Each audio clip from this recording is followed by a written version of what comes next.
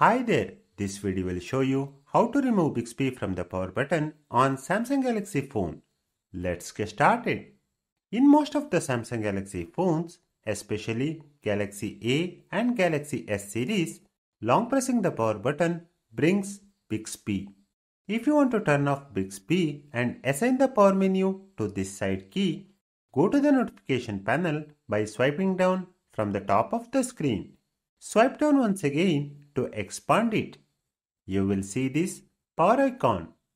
Tap on it. You will get this power menu and at the bottom you will get an option called Side Key Settings. Click on it.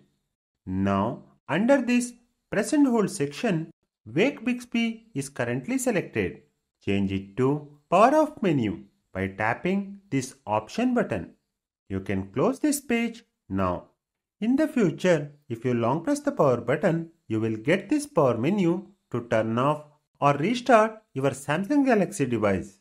That's it for this video on how to disable Bixby from the power button on a Samsung Galaxy phone.